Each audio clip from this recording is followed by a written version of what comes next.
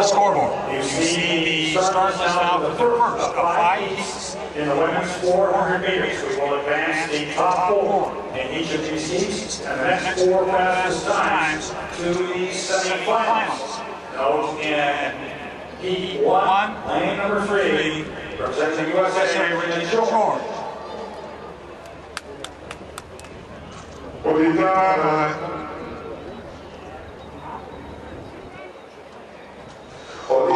la première des cinq séries qualificatives du 400 mètres féminin.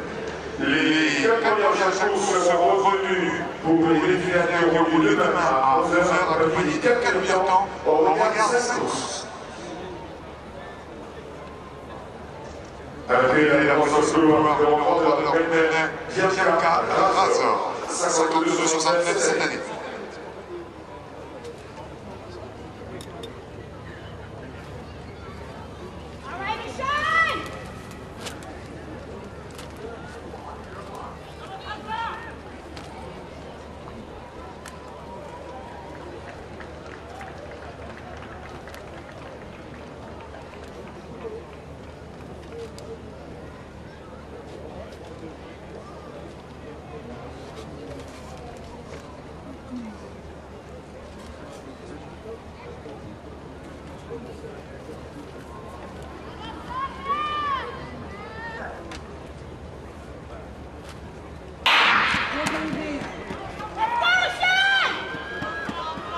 From the inside, Hick, Ryan George.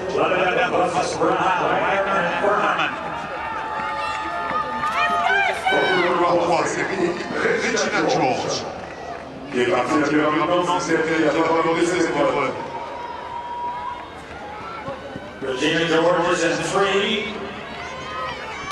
Maria Lebedev, Russia in four. John Brown, Bahamas in six. Let's go, Sean!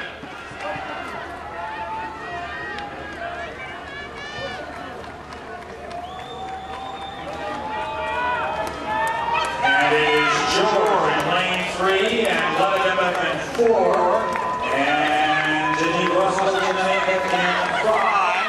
And Lebedev will be the winner George and Russell. Russe Maria Lebedeva qui l'emporte dans sinueux de 54 secondes et 3 centièmes devant l'américaine Regina George. En troisième position, J.J. Russell, Jamaïque.